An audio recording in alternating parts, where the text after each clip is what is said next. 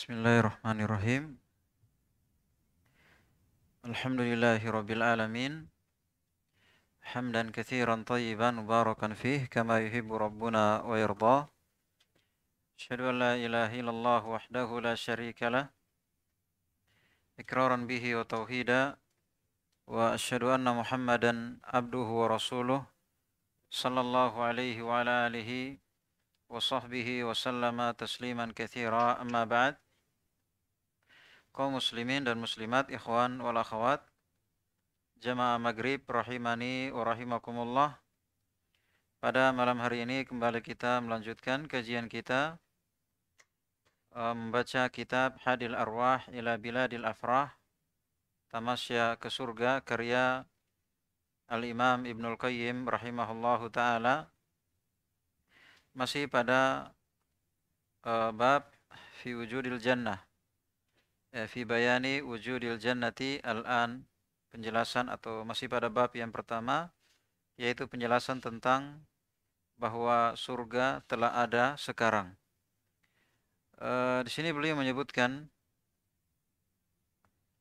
uh, beberapa akidah ahli sunnah. Kata beliau, "Athbatu as-sam'a wal basar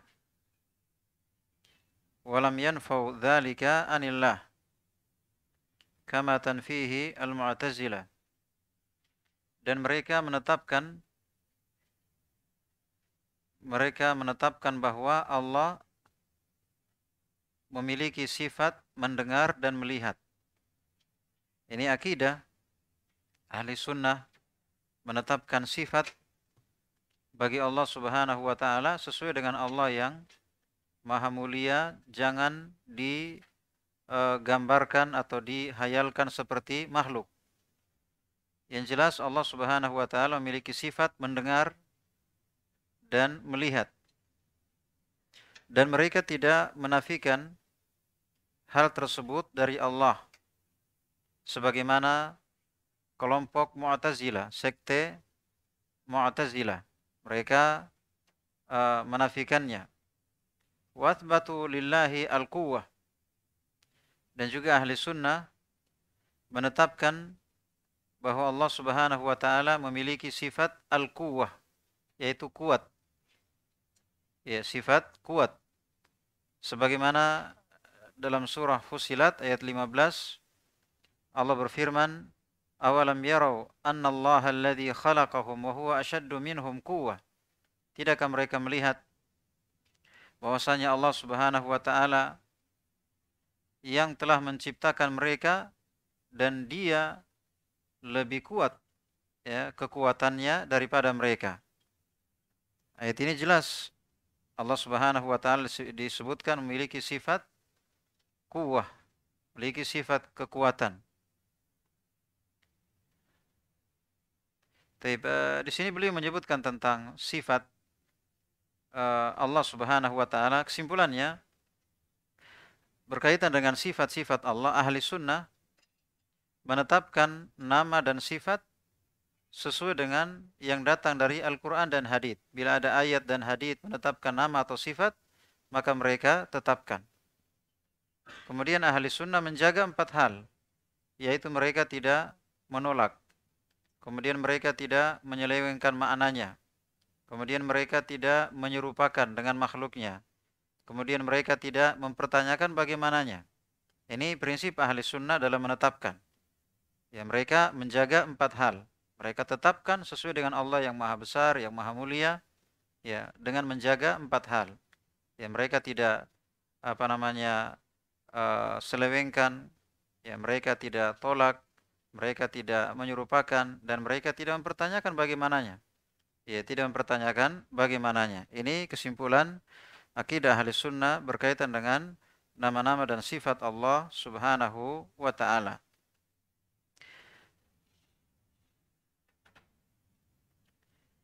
Dan eh, kesalahan dalam asma wa sifat, dalam nama-nama dan sifat, ini kesalahan yang fatal, karena ini prinsip ahli sunnah.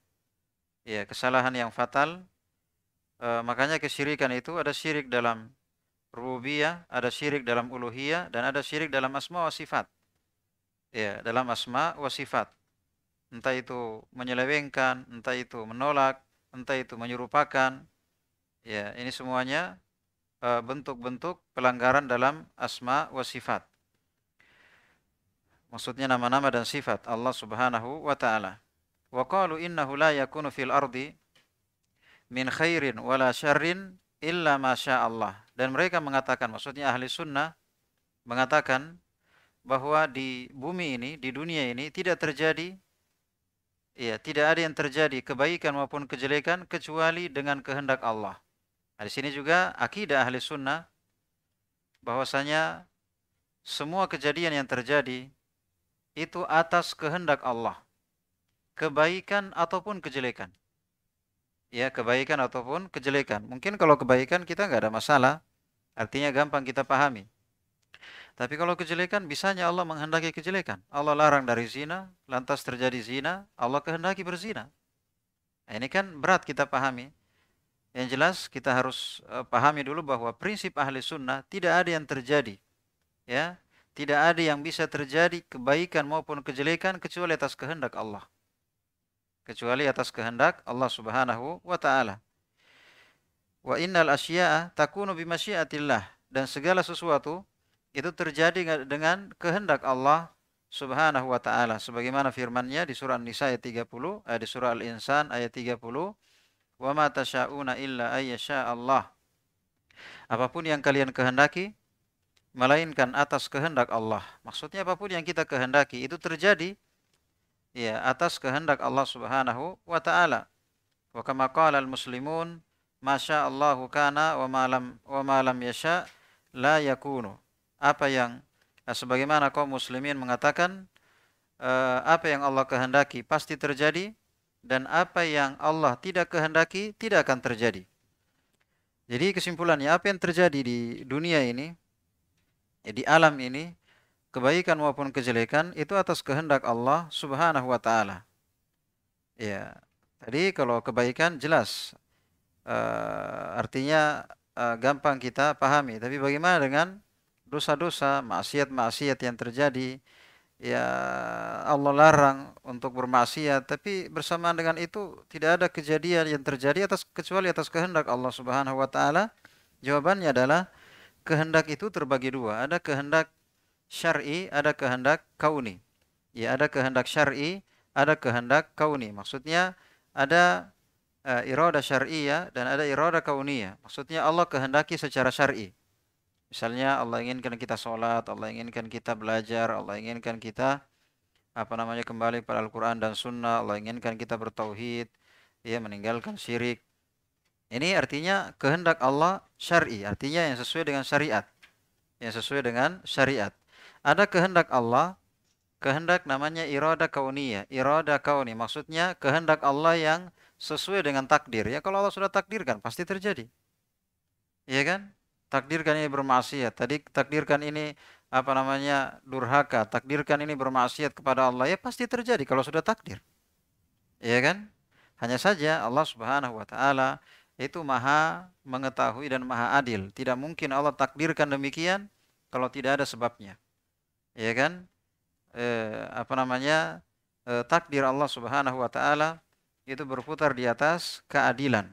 Di atas keadilan akan e, apa namanya dibahas dalam masalah takdir. Yang jelas kesimpulannya adalah tidak ada kejadian yang terjadi kebaikan maupun kejelekan kecuali atas kehendak Allah. Hanya kalau kebaikan itu kehendak yang syar'i, ya kan? Tapi kalau e, kejelekan ah, itu kehendak yang yang kauni, artinya kehendak yang sifatnya takdir, kehendak yang takdir yang merupakan ketentuan Allah Subhanahu wa taala. Makanya kehendak yang syar'i itu belum tentu terjadi. Misalnya Allah inginkan kita sholat, apakah semua orang sholat? Ya tidak semua orang sholat. Allah inginkan kita bertauhid. Ya kebanyakan orang syirik. Allah inginkan kita berislam, kebanyakan orang kafir, ya kan? Artinya kalau kehendak yang syar'i itu belum tentu terjadi. Ya, tapi sudah pasti orang yang melakukannya dicintai oleh Allah Subhanahu wa taala. Siapa yang sholat, siapa yang belajar, siapa yang bertauhid, ini sudah pasti di, dicintai oleh Allah Subhanahu wa taala. Tapi kalau kehendak yang kauni, kehendak yang kauni maksudnya kehendak Allah yang bersifat takdir, mau tidak mau pasti terjadi. Maka tidak berkaitan dengan tidak berkaitan dengan cinta. Kalau terjadi berarti Allah cintai. Tidak. Tapi dia berkaitan dengan takdir. Berkaitan dengan ketentuan Allah subhanahu wa ta'ala. Jadi bedakan ya. Kalau ada yang tanya, berarti Allah kehendaki kita ya dia berzina, dia minum khamar, dia berjudi, dia narkoba dan semisalnya. Jawabannya iya. Jawabannya iya. Tapi kehendak apa di situ? Kehendak kauni. Paham ya? Bedakan antara kehendak syar'i dengan kehendak kauni. Yang berkaitan dengan cinta itu kehendak apa tadi? kehendak syar'i. Begitu ya. Yang dituntut dari kita, yang dituntut dalam agama kita adalah kehendak syar'i. Allah inginkan secara syariat. Adapun kehendak kau ini itu namanya takdir. Ya, biar bagaimana seorang akan uh, apa namanya berjalan sesuai takdirnya.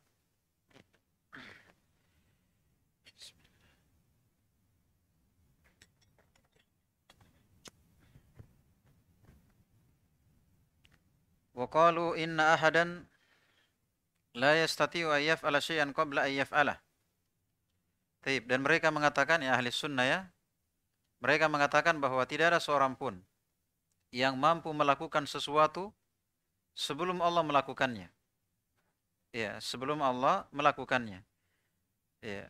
Uh, maksudnya sama dengan tadi ya bahwa tidak ada uh, kejadian yang terjadi ini kecuali atas kehendak atas atas izin dari Allah Subhanahu wa taala. Apa pun yang kita inginkan, kita mau lakukan, itu tidak akan terlaksana kecuali atas kehendak Allah Subhanahu wa taala. Au yakunu ahadun yaqdiru ay yakhruja an ilmillah atau misalnya seorang mampu untuk keluar dari ilmu Allah. Maksudnya ada sesuatu yang dia kerjakan tanpa Allah ketahui. Ada sesuatu yang dia kerjakan tanpa Allah ketahui. Itu hal yang tidak mungkin. Itu hal yang tidak mungkin. Au ala syai'an alimallahu annahu la yaf'alah. Atau dia melakukan sesuatu ya, di mana Allah tahu bahwa dia tidak akan melakukannya. Ya. Atau ada seseorang melakukan sesuatu, Allah tahu dia tidak akan melakukannya, tapi ternyata dia bisa melakukannya. Nah, ini hal yang tidak yang tidak mungkin. Jadi maksudnya apa pun yang kita kerjakan itu bisa terjadi atas kehendak siapa? atas kehendak Allah Subhanahu wa taala dan tidak ada seorang pun dari kita dari hamba yang bisa keluar dari takdir. Yang bisa keluar dari dari takdir, dari ketentuan Allah Subhanahu wa taala. Maksudnya tidak ada dari perbuatannya yang lepas dari kontrol, dari pengetahuan, dari ilmu Allah Subhanahu wa taala, dari ketentuan Allah, tidak ada satupun. Semua dari perbuatan kita itu diketahui oleh Allah Subhanahu wa taala terang-terangan, rahasia, besar, kecil, kebaikan maupun kejelekan. Ya. Atau misalnya tadi eh, setiap yang dilakukan oleh hamba itu pasti diketahui oleh Allah Subhanahu wa taala. Wa ayyaf ala syai'an alimallahu annahu la yaf'aluh. Iya, atau dia melakukan sesuatu di mana Allah tahu bahwa Allah bahwa Allah bahwa dia tidak melakukannya. Iya. Maksudnya, kalau Allah tahu bahwa hamba tidak akan melakukannya, berarti tidak akan mungkin hamba bisa melakukannya. Ya, tidak akan mungkin hamba bisa melakukannya. Ini akan dibahas di masalah pembahasan takdir. Ya, pembahasan takdir. Kesimpulannya dalam masalah takdir. Dalam masalah takdir, ya seorang eh, apa dia harus mengetahui eh, arkanul qadar, rukun takdir. Ini supaya aman dari uh, kesalahan dalam masalah takdir. Karena takdir itu rahasia Allah Subhanahu wa taala. Seorang tidak akan bisa masuk dalam uh, berbicara tentang takdir ya kecuali sesuai dengan Al-Qur'an dan hadis karena akal tidak mampu untuk uh, bisa uh, memahami uh, bagaimana takdir karena itu rahasia Allah Subhanahu wa taala. Kesimpulannya untuk mengetahui masalah takdir itu harus mengetahui empat urutan takdir. Yang pertama al-ilmu. Yang pertama ilmu. Maksudnya segala sesuatu diketahui oleh siapa? Oleh Allah Subhanahu wa taala. Mana mungkin ada kejadian yang dikerjakan oleh hamba atau kejadian di alam semesta ini ada yang terjadi tanpa pengetahuan siapa? Tanpa pengetahuan Allah itu nggak mungkin. Ya, ini yang pertama. Jadi ini tahapan yang pertama bahwa segala sesuatunya diketahui oleh siapa? Diketahui oleh Allah Subhanahu wa taala. Iya. Terus semenjak kapan Allah tahu? Nanti terjadi baru Allah tahu? Atau satu tahun sebelumnya baru Allah tahu atau 500 tahun sebelumnya baru Allah tahu yang belum terjadi, yang sedang terjadi, yang akan terjadi, yang tidak akan terjadi, bagaimana terjadinya kalau dia terjadi. Ya, Allah tahu semua, tapi bagaimana? Kapan Allah tahu? Jawabannya semenjak dulu tanpa tanpa apa namanya? Ya, tanpa awal. Ya, Allah tahu semenjak dulu tanpa awal. Dan yang akan terjadi seterusnya tanpa akhir, Allah tahu semua. Ya. Ini maksudnya al-ilm. Jadi kita harus meyakini dalam masalah takdir, Allah Subhanahu wa taala mengetahui segala sesuatu. Yang kedua, al-kitabah. Yang kedua, pencatatan. Maksudnya segala sesuatu yang terjadi ini ini semuanya tercatat.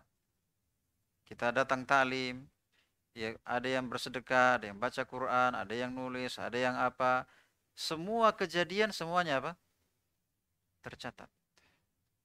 Berarti ingat tahapannya tadi ya. Tahapan yang pertama diketahui. Berarti kalau dia tercatat sudah pasti di diketahui karena urutan pertama diketahui oleh Allah. Nah, urutan kedua apa? Tercatat. Iya, semuanya tercatat. Kemudian yang ketiga namanya uh, al-masyiyah, dikehendaki oleh Allah. Tidak ada yang terjadi kecuali atas kehendak siapa? Tidak ada yang terjadi kecuali atas kehendak Allah. Mana mungkin Ya, mana mungkin ada kejadian di luar kehendak siapa? Allah. Kebaikan maupun apa tadi? Kebaikan maupun keburukan. Pahala maupun dosa. Ketaatan maupun maksiat. Tidak akan terjadi kecuali atas kehendak siapa? Allah. Berarti urutan keberapa itu? Ketiga. Berarti ketika ada kejadian, kebaikan atau kejelekan, ketaatan, maksiat, eh, pahala atau dosa, pertama diketahui. Sejak dulu bahwa ini si ini akan bikin dosa pada jam sekian hari ini di tempat ini. Sejak dulu Allah tahu. Kemudian yang kedua apa? Kejadian atau perbuatan dia itu ter tercatat. Semenjak kapan tercatat? Jawabannya disebutkan dalam hadis semenjak 50 50 ribu tahun sebelum diciptakan langit dan dan bumi 50 ribu tahun sebelum diciptakan langit dan bumi istrinya si ini ini istrinya ini, ini istrinya ini, ini anaknya sekian, ini umurnya sekian, ini kerjanya, itu 50 ribu tahun. Sebelum diciptakan langit dan bumi sudah tercatat. Semenjak dahulu tanpa awal, Allah sudah ketahui. Bahwa ini istrinya ini. Ya, bahwa ini umurnya sekian. Pekerjaannya ini, tinggalnya di sini. Ya, semuanya Allah ketahui. Tercatat 50 ribu tahun sebelum diciptakan langit dan bumi tercatat semuanya. Kemudian apa? Apa tadi yang ketiga? Kehendak ya masyiah. Artinya tidak ada yang yang yang terjadi kecuali atas kehendak siapa? Allah Subhanahu wa taala. Ya, yang keempat yang keempat baru pentakdiran, maksudnya al-khalq penciptaan. Ya, di di di ditak, ditakdirkan, di dijadikan kejadian itu terjadi. Ya, berarti itu urutan terakhir. Urutan terakhir eksekusi, ya kan?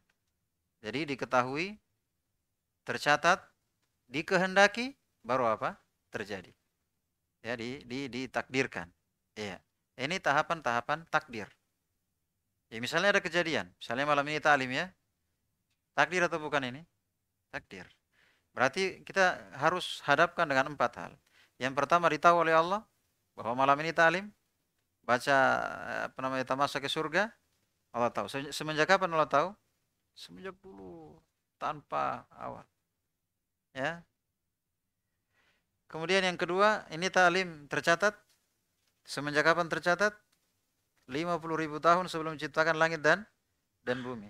Ini terjadi ta'lim malam ini dikehendaki oleh Allah? Ya dikehendaki. Ya kan? Uh, dia kehendak apa di sini? Kehendak syari atau kehendak kau ini? Kalau kalau kalau dia sesuai dengan agama syar'i. Dan kalau dia sudah terjadi, berarti kau kau nih karena yang namanya takdir pasti terjadi. Jadi kalau masih kebaikan diinginkan tapi belum terjadi berarti syar'i. Tapi kalau sudah terjadi syar'i sekaligus paham? Karena terjadi. Nah, juga takdir, ya kan? Nah, yang keempat apa? Baru pentakdiran, maksudnya pembuktian. Ketahui, tercatat, dikehendaki, kemudian apa namanya? Eh, istilahnya eksekusi lapangan. Pokoknya terjadi. Ya, sudah diketahui oleh Allah, tercatat, dikehendaki, kemudian ditentukan, ditakdirkan. Ya, seperti itu takdir. Tapi jadi kalau begitu ngapain kita usaha? Karena tidak ada yang meleset dari takdir. Ya kan?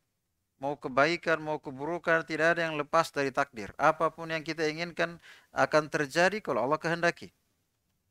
Iya, tidak ada yang keluar dari takdirnya. Kita berjalan tidak ada yang keluar dari takdir. Tidak ada yang bisa lepas dari takdirnya. Kalau begitu apa?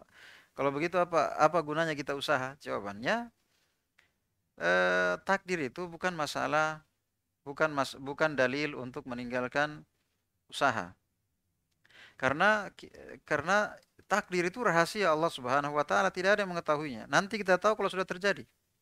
Oh, ternyata oh istri saya ini Ternyata saya kerjanya di sini, ternyata tinggalnya saya di sini, ternyata dan seterusnya. Nanti sudah terjadi. Adapun yang belum terjadi, tidak ada yang ketahui kecuali siapa? Allah. Itu rahasia Allah. Sekarang kita meninggalkan usaha dengan alasan takdir. Emang ada yang tahu takdirnya? Nah, misalnya ya sudahlah kalau saya ditakdirkan masuk surga, ya biar nggak sholat, tetap masuk surga. Iya, tapi tahu nggak kita takdirnya surga atau neraka? Ada yang tahu bahwa takdirnya surga? Nggak ada yang tahu. Makanya masalah ini juga ditanyakan di ditanyakan oleh para sahabat kepada Nabi Shallallahu Alaihi Wasallam ketika Nabi menjelaskan masalah takdir. Maka Nabi Shallallahu Alaihi Wasallam e, menjawab, "I'malu e, e, beramal kalian karena setiap orang itu akan dimudahkan kepada takdirnya." Jadi Nabi tidak tidak menyuruh sahabat beralasan dengan takdir, malas-malasan, tapi Nabi suruh berusaha. Beramal kalian berusaha dan setiap orang itu akan dimudahkan kepada takdirnya. Kalau takdirnya dia penghuni surga, akan dimudahkan mengamalkan amalan-amalan yang mengantarkan ke surga. Kalau dia takdirnya penghuni neraka, akan dimudahkan mengamalkan amalan yang mengantarkan ke neraka. Ya, tapi tidak bisa dipastikan karena itu rahasia Allah Subhanahu wa taala, dia surga atau neraka, ini rahasia Allah Subhanahu wa taala. Tapi ini masalah takdir.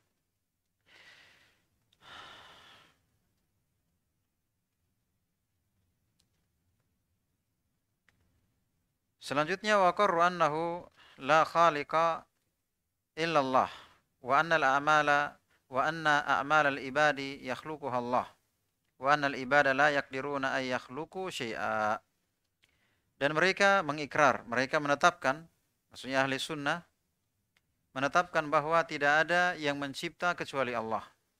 Tidak ada yang mencipta kecuali Allah. Ya maksudnya Allah Subhanahu wa taala pencipta segala sesuatu, termasuk amalan hamba. Ya, termasuk amalan hamba. Perbuatan kita itu ciptaan Allah Subhanahu wa taala. Ya, wa anna wa anna a'malal ibadi yakhluquha Allah dan amalan hamba itu dicipta oleh Allah. Jadi segala sesuatunya merupakan ciptaan Allah Subhanahu wa taala. Ya. Wa annal ibad la yaqdiruna ay yakhluqu syai'a dan ada hamba mereka tidak mampu untuk menciptakan apa-apa. Kalau apa namanya Allah Subhanahu wa taala tidak kehendaki. Jadi segala sesuatunya merupakan ciptaan Allah Subhanahu wa taala dan uh, perbuatan hamba juga merupakan ciptaan Allah Subhanahu wa taala. Iya.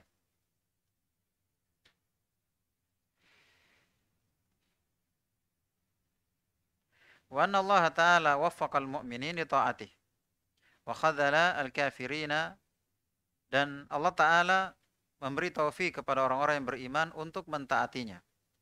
Ya maksudnya orang-orang yang beriman mereka bisa taat kepada Allah Subhanahu wa taala itu karena taufik dari Allah. Karena taufik dari Allah Subhanahu wa taala, bukan karena bukan karena kita apa namanya uh, hebat atau karena kita dan seterusnya kita kuat, tapi itu taufik dari Allah Subhanahu wa taala. Iya, adapun yang kita lakukan taklim, baca Quran, ya apa namanya baca buku dan seterusnya, itu hanyalah sebab.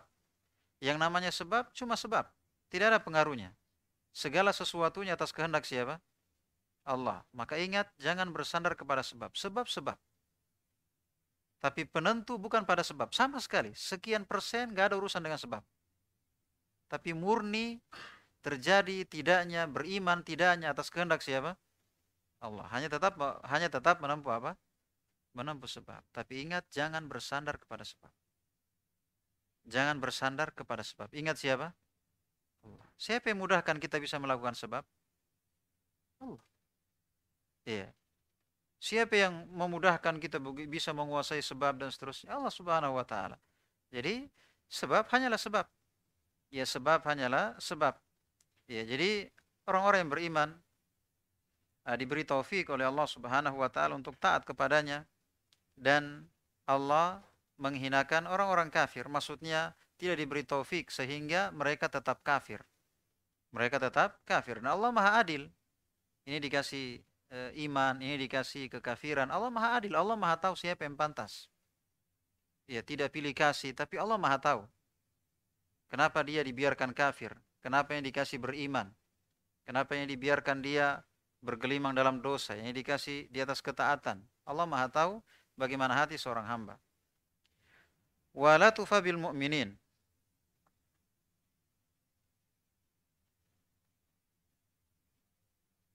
Wa nadhara ilai wa nadhara lahum wa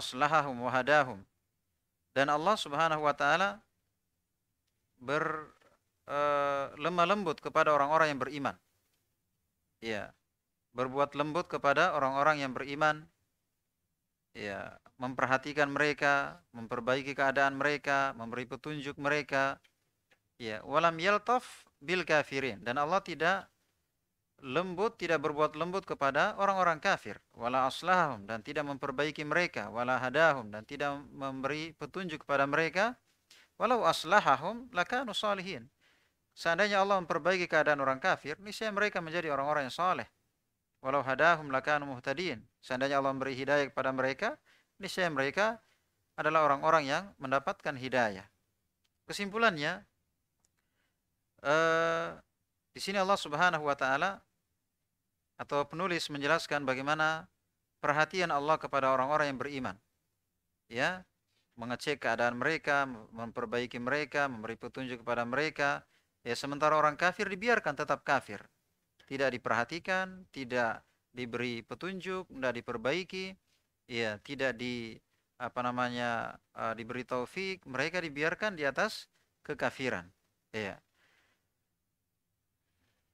Makanya kita bersyukur ya kepada Allah Subhanahu wa taala bisa menjadi orang yang beriman itu taufik dari Allah Subhanahu wa taala. Itu nikmat yang besar yang Allah berikan kepada hambanya. Wa anna Allah taala yakdir ayyusliha al-kafirin dan Allah Subhanahu wa taala maha mampu untuk memperbaiki orang kafir. Allah maha mampu untuk memperbaiki menjadikan mereka itu eh, muslim menjadi baik. Allah maha mampu. Ya, wa yaltaf uh, wa yaltafa bihim hatta yakunu mu'minin dan berbuat lembut kepada mereka sehingga mereka menjadi orang-orang yang beriman. Walakinnahu arada ayyakunu kafirin kama alim. Tetapi orang-orang kafir itu memang mereka ingin kafir sebagaimana ilmu Allah. Ya, Allah tahu bahwa mereka ingin kafir, maka dibiarkan kafir. Ya, sebagaimana ilmu Allah Subhanahu wa taala berkaitan dengan takdir ya. Yang pertama ilmu. Ya kan? Jadi segala sesuatunya Allah sudah tahu. Yang keempat kan baru pentakdiran kan? Pentakdiran itu yang terakhir yang keempat. Yang pertama ilmu, yang kedua pencatatan, yang ketiga kehendak, baru pentakdiran. Ditakdirkan dia kafir, Allah sudah tahu dari awal-awal Allah sudah tahu dia ini maunya kafir. Ya sudah dikasih kafir. Iya. Wa khadalahum wa adallahum wa taba ala qulubihim. Allah hinakan mereka, Allah sesatkan mereka dan Allah tutup ya Allah tutup hati mereka. Taib. Ini ada kaitannya dengan masalah dengan masalah takdir. Ya. Wa annal khaira wa syarra biqada'illah wa qadarih. Dan bahwasanya kebaikan ataupun kejelekan atau keba eh, kebaikan dan kejelekan itu dengan takdir dengan ketentuan Allah dan takdirnya. Ya maksudnya orang orang berbuat baik, orang berbuat jelek atas kehendak siapa? Atas takdir siapa? atas takdir Allah. Kita bisa berbuat baik, berbuat jelek atas takdir siapa? Allah. Hanya kalau kebaikan kehendak apa tadi? Kehendak syar'i. Kalau dia terjadi, kebaikan dan terjadi berarti syar'i dan kau kauni. Iya. Kalau dia kejelekan itu kehendak yang yang kauni. Iya, kehendak yang kauni.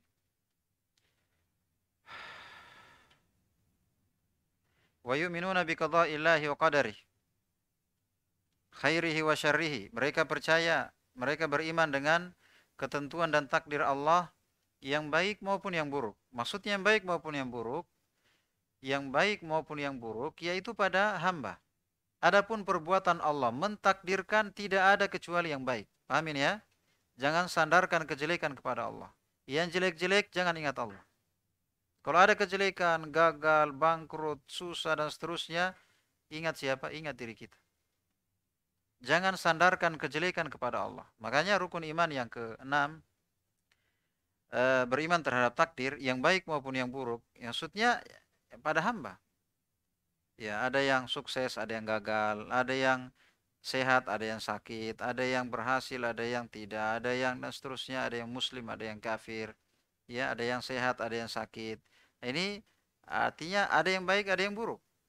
Tapi itu pada hamba. Adapun perbuatan Allah menetapkan ini sakit, ini sehat, ini kaya, ini miskin, ini e, berhasil, ini bangkrut. Ini perbuatan Allah mentakdirkan semuanya baik. Karena ada hikmah di balik itu, penuh keadilan, ya, penuh keadilan. Allah Maha tahu apa yang pantas ya dengannya, apa maunya dan seterusnya. Allah Maha tahu dan ada hikmah di baliknya. Entah banyak orang-orang yang dikasih sakit, tapi di balik sakit dia malah mendekat kepada Allah. Waktu sehat-sehatnya dinasihati, dibacakan ayat, dibacakan hadis, enggak mempan. Nanti sakit, hampir mati, baru ingat Allah Subhanahu wa taala. Berarti ini teguran besar bagi dia. Maksudnya kalau dia enggak tidak ada yang menyebabkan dia bisa kembali kepada Allah kecuali sakit. Berarti pada sakit ada hikmah yang besar. Ada hikmah yang besar. Dulu waktu kaya misalnya susah kembali kepada Allah. Nanti jatuh miskin baru ingat Allah. Ya kan? Ya, berarti ada hikmah di balik di balik musibah itu. Ya, ada hikmah di balik musibah. Banyak sekali hikmah di balik musibah. Misalnya membuat kita kembali kepada Allah, membuat kita ingat Allah, membuat kita sadar diri kita ini nggak bisa apa-apa. Ya, ada corona misalnya, kita mau apa?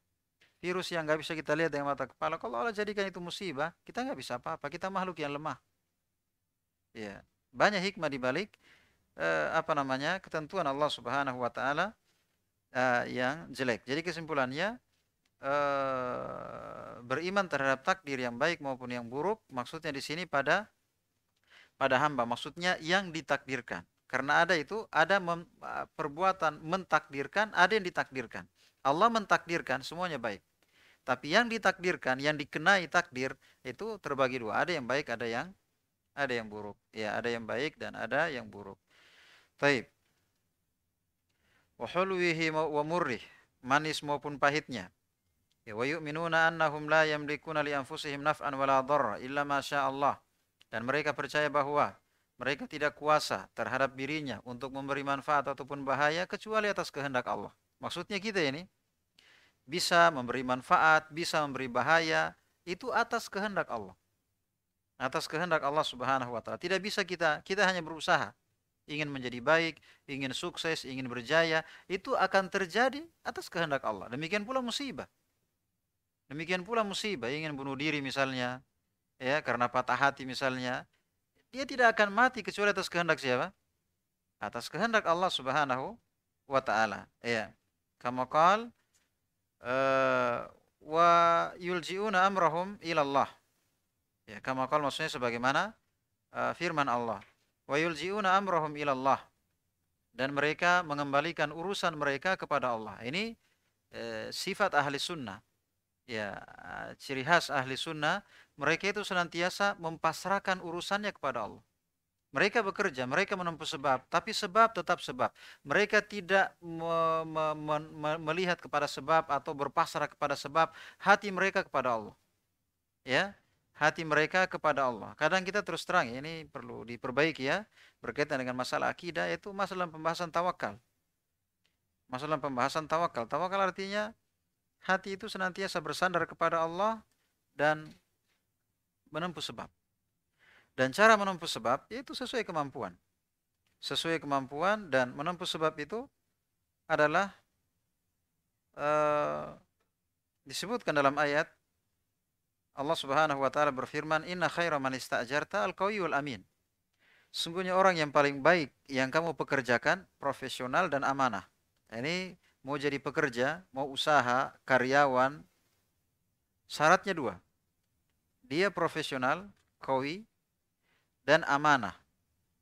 Ya, sebab hancurnya perusahaan atau usaha disebabkan karena salah satunya hilang. Mungkin dia profesional tapi tidak amanah. Mungkin dia amanah tapi kerjanya muradul. Apalagi kalau nggak punya kedua-duanya, hancur perusahaan. Iya. Hancur. Baik. Tapi ini tugas-tugas hamba. Hamba hanya berusaha. Dia profesional. Dia amanah. Selebihnya urusan siapa? Allah. Sebab tetap sebab. Hati tidak pernah sekedip pun, sekejap pun dia menoleh kepada sebab. Hati hanya berpasrah kepada Allah. Itulah tawakal. Itulah tawakal. Jangan ingat sebab, lupakan sebab. Kalau berhasil, lupakan sebab. Ingat siapa? Allah. Ingat Allah. Siapa yang mudahkan sebab? Siapa yang mudahkan? Siapa yang lancarkan? Siapa yang mudahkan modalnya, yang mudahkan ilmunya, yang mudahkan karyawannya dan seterusnya? Allah Subhanahu wa taala. Maka ingat Allah Subhanahu wa taala.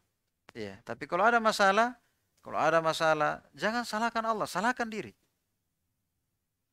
Ya, mungkin kurang ilmunya, kurang amanahnya, kurang dan seterusnya, salahkan diri.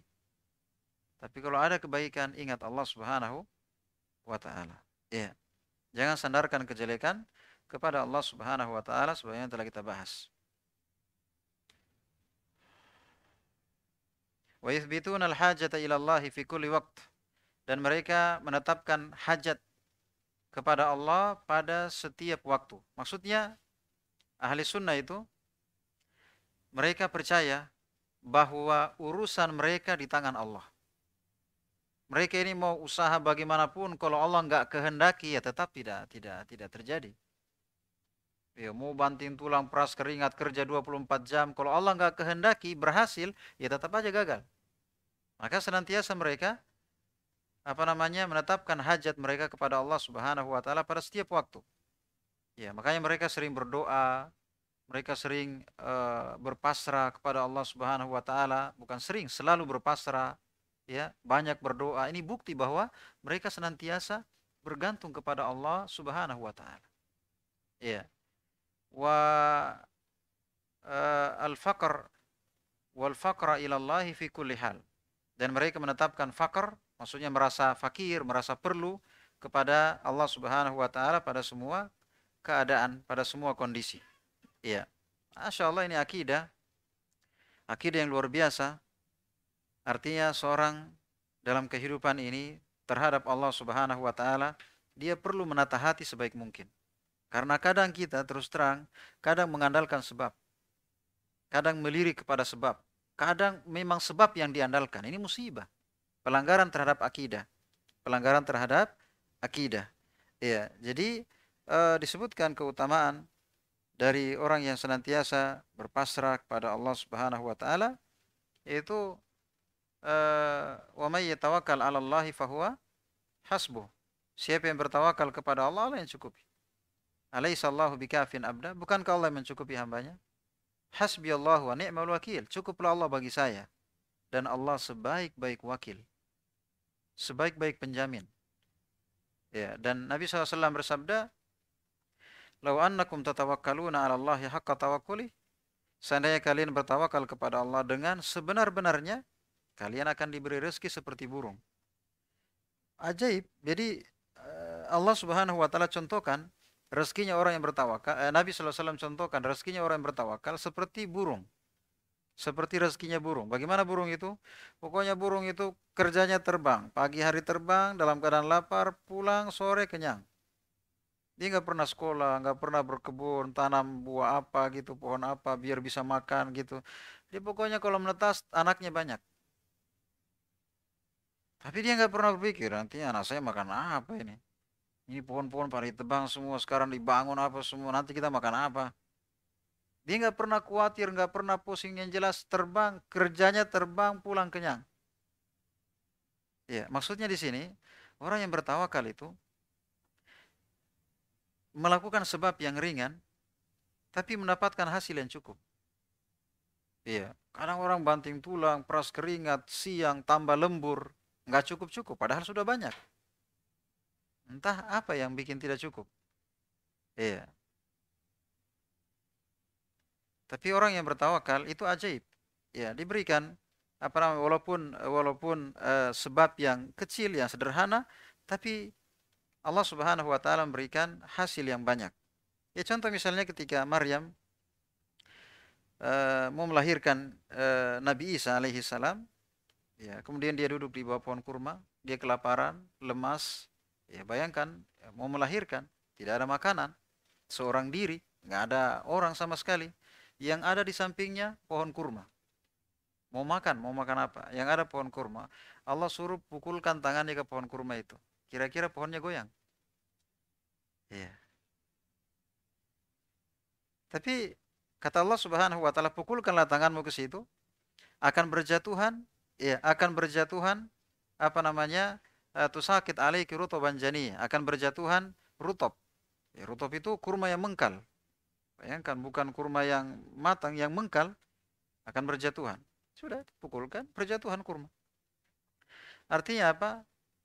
Hati senantiasa yakin kepada Allah Subhanahu wa taala, segalanya dia pasrahkan kepada Allah dan menempuh sebab semampunya.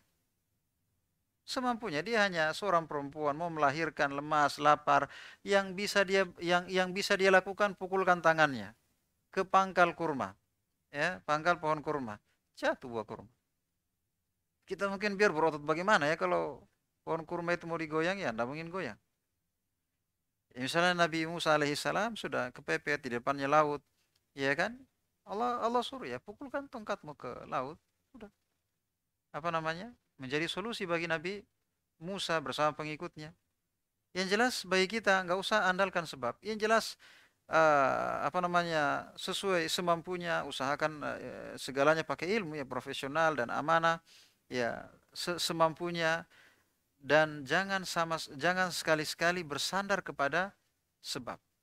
Sebab hanyalah sebab, tapi yang menentukan Allah, hati-hati uh, dengan uh, hati kita yang bersandar kepada selain Allah. Karena ini berkaitan dengan berkaitan dengan ibadah, masuk pembahasan syirik.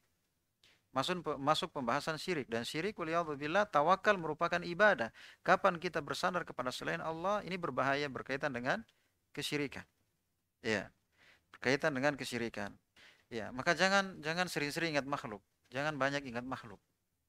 Kerjanya kita usaha tapi banyak ingat siapa? Allah Subhanahu wa taala. Taib. Waktu sudah masuk ya.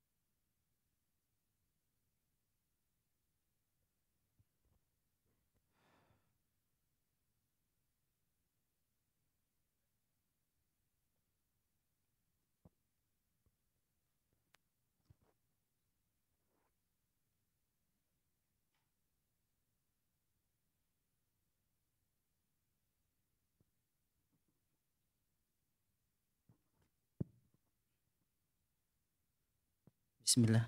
Izin bertanya Ustaz. Uh, apakah juga masalah takdir ini bisa menjadi sebab ketenangan hati? Contohnya kalau lagi ada usaha bangkrut atau apa dan ketika itu kita mempasrahkan diri bahwa ini adalah sudah takdir Allah. Dan apakah itu menjadi sebab hati menjadi tenang Ustaz? Jazakallah khair. Tapi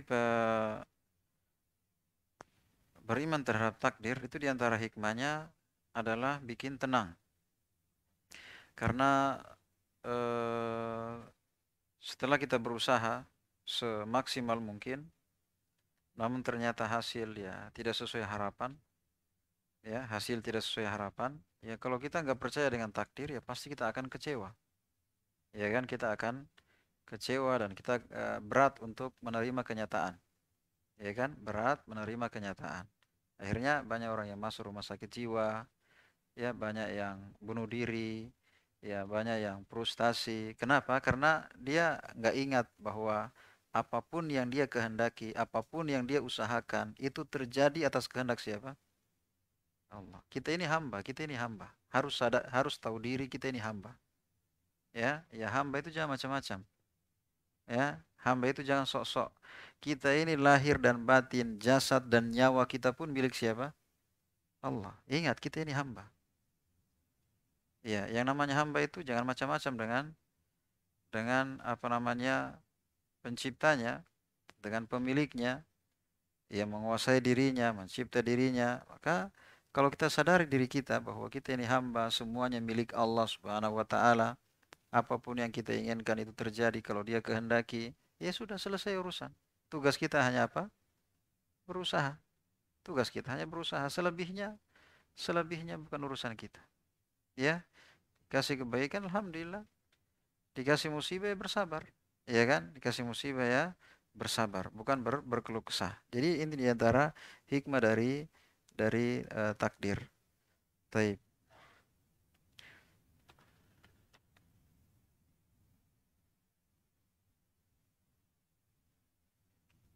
Tapi apakah takdir bisa berubah? Apakah takdir bisa berubah? Ini pertanyaan penting juga ya karena kenapa kita disuruh berdoa gitu kan? Kenapa kita disuruh uh, bersedekah biar bertambah rezekinya, silaturahim biar panjang umurnya, dilapangkan rezekinya, ya uh, apa namanya? Nah, ini kan kelihatannya ada perubahan, ya kan? Padahal kan eh, 50 ribu tahun sebelum diciptakan langit dan bumi, takdir kita sudah sudah tertulis, sudah kering tintanya, sudah diangkat penanya, nggak ada perubahan lagi. Iya.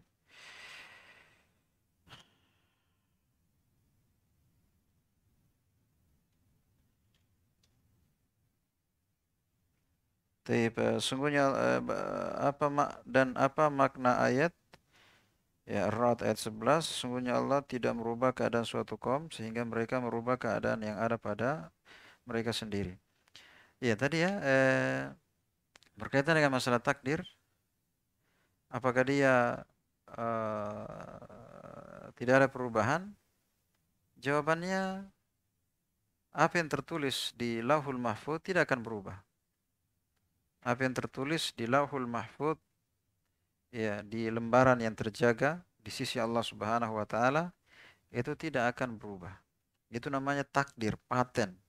Ya, tidak akan berubah disebutkan dalam hadis rufi'atil aqlam majaffatis suhuf. Pena telah diangkat dan tinta telah kering. Maksudnya tidak akan berubah.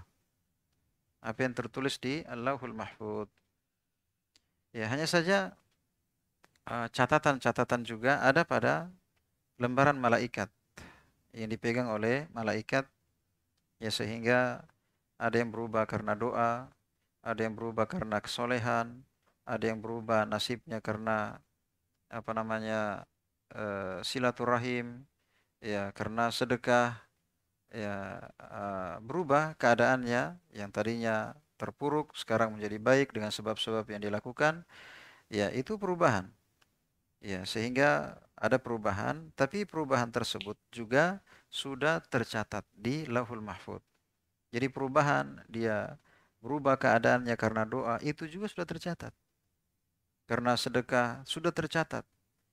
Sudah apa namanya silaturahim, panjang umurnya sudah tercatat. Ya, jadi ternyata perubahan juga itu sudah ter tercatat.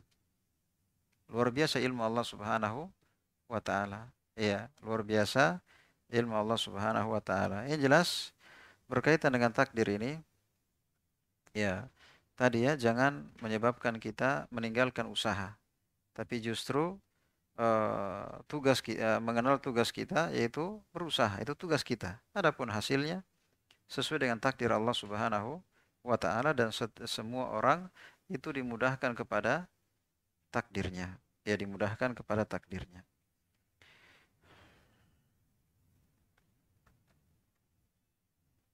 Tapi ayat di sini sungguhnya Allah tidak merubah keadaan suatu kaum sehingga mereka merubah keadaan keadaan yang ada pada mereka. Ya, artinya eh, segala sesuatunya ya artinya kita manusia kan punya kehendak ya, punya kehendak. Tapi juga Allah punya kehendak. Hanya saja kehendak kita itu terjadi atas kehendak siapa? Allah. Nah, hanya saja perubahan ini Allah Subhanahu wa taala kaitkan dengan sebab. Makanya dalam kehidupan dunia ini ada sebab akibat. Ada sebab akibat. Kalau kita usaha, ya kalau kita makan kita kenyang. Kalau kita minum hilang dahaga. Kalau kita berusaha insya Allah mendapatkan hasil. Ada sebab, ada akibat. Hanya kita harus sadar bahwa sebab itu uh, tidak pasti. Orang melakukan sebab pasti dapat hasilnya. Karena sebab cuma sebab, tapi yang menentukan siapa? Allah Subhanahu wa taala. Berarti kembali kepada apa yang telah kita bahas bahwa eh, apa namanya? Allah tidak merubah nasib suatu kaum kecuali dengan mereka merubah diri-diri mereka dengan catatan atas kehendak siapa? Atas kehendak Allah Subhanahu wa taala. Tidak bisa dipastikan yang penting kita usaha pasti berhasil, itu enggak. Tapi memang mesti usaha karena demikianlah kehidupan dunia. Kita masuk surga harus usaha, iya kan? Kita mau berhasil di dunia harus usaha, tapi pasti berhasil tidaknya semuanya kembali ke mana? Kehendak Allah Subhanahu wa taala. Jadi dalam masalah seperti ini maksudnya eh, kita dituntut untuk usaha ya sesuai kemampuan profesional, tapi jangan lupa kita harus ingat bahwa apa pun yang kita usahakan itu semuanya e, berhasil atau tidaknya atas kehendak siapa? Allah. Makanya ucapan yang baik yang yang yang sering kita dengar yaitu usaha dan dan doa. Usaha dan doa. Artinya kita berusaha itu tugas kita dan doa ini tanda bahwa sudah kita berusaha semaksimal mungkin diilmui ya kemudian kita banyak berdoa. Kenapa? Apa pun usaha yang kita lakukan Apa pun usaha yang kita lakukan, ini terwujud atau berhasil atas kehendak siapa? Allah. Makanya kita banyak apa? Berdoa. Jangan andalkan usaha. Ya, jangan andalkan usaha. Tapi juga jangan hanya berpasrah saja. Jangan hanya berpasrah saja, tapi harus harus usaha. Kenapa? E, karena kita ini e, karena kita ini ada dua bagian ya ada jasmani dan ada rohani. Ada fisik dan ada hati. Ada tugasnya fisik dan ada tugasnya hati.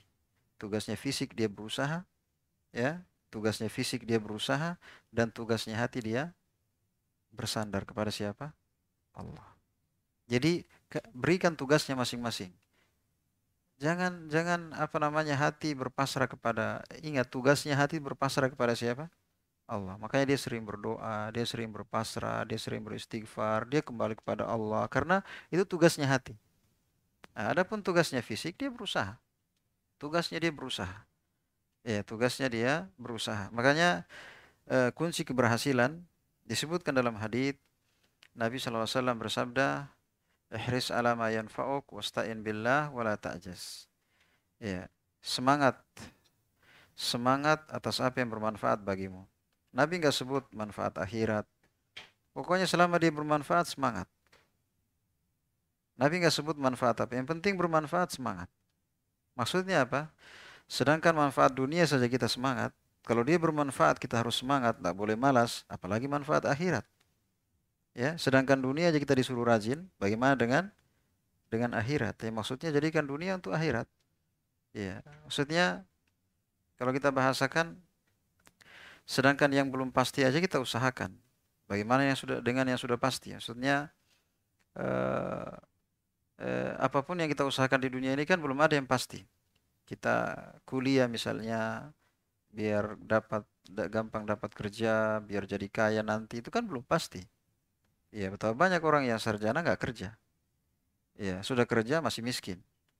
Ya, ada yang usaha dan seterusnya uh, gagal. Ya, pasti orang bilang ya namanya juga usaha. Ya kan? Bagaimana dengan yang sudah pasti yaitu mati? Mati kan sudah pasti. Tinggal menunggu waktunya. Nah, mana usaha kita untuk itu? Ya kan? Maksudnya sedangkan dunia saja kita uh, kalau memang bermanfaat, kita semangat, tidak boleh malas. Bagaimana dengan akhirat yang belum pasti kita kita semangat untuk mengupayakannya bagaimana dengan yang yang sudah pasti ya kata Nabi SAW ihris alama yanfa'uk semangat atas apa yang bermanfaat bagimu. Wasta'in billah. Minta tolong kepada Allah. Tawakal. Selalu hati ini bersandar kepada Allah. Yang ketiga wala ta'jas. Jangan malas. Jangan melemah. Jangan kendor. Sudah semangat. Banyak berdoa. Berpasrah penuh kepada Allah. Kerjanya profesional. Kemudian ditutup dengan jangan melemah. Pokoknya maju terus. Apa pun yang terjadi, semangat terus, jangan melemah. Kenapa kalau melemah? Karena ketika di belakangnya ada melemah, itu menghancurkan yang telah diusahakan. Itu menghancurkan yang telah diusahakan. Mungkin apa namanya ketika dia menggali, ya akhirnya mungkin tinggal tiga kali cangkul saja sudah dapat emas. Tapi apa namanya karena dia merasa eh, kayaknya sudahlah. Akhirnya ratusan kali dia mencangkul, itu sirna, menghancurkan apa yang telah diusahakan. Ya maka seorang dalam dalam dalam berusaha kebaikan dunia maupun akhirat kuncinya ini dia. Dia semangat, ya tentunya di atas profesional, di atas ilmu, kemudian dia senantiasa bersandar kepada Allah, segalanya dia pasrahkan kepada Allah, dia banyak berdoa, banyak kembali kepada Allah. Yang ketiga dia tidak pernah melemah. Dia tidak pernah melemah, terus semangat. Ya.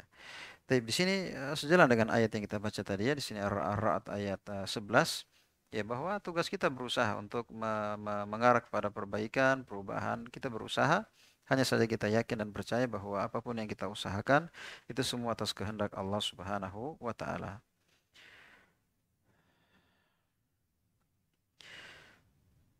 Baik, ada lagi ya. Mudah-mudahan apa yang kita dengarkan uh, bermanfaat bagi kita semua. Mohon maaf atas segala kekurangan. سبحانك اللهم وبحمدك اشهد ان لا اله الا انت استغفرك واتوب اليك واخر دعوانا الحمد لله رب العالمين الله اكبر الله اكبر لا اله الا الله اشهد ان رسول الله حي على الصلاه حي على الصلاه قد قامت الصلاه الله اكبر الله اكبر لا إله إلا